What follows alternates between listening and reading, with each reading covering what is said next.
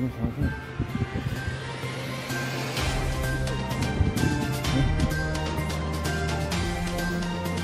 Ahır çakal var da ben texnik cəhsini nə eləsinlər də o boyda kranlar var ha, elə bir kran var ki bu boyda qayanı Onu götürür. ha. kıvrıyı artık görüp çatmak olur değil mi? Aha, ne çıxardarlar ya. Gör nə tər atıb ekskavasiya.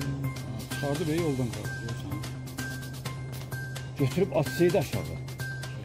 Bəlkə də ölməzdi daş.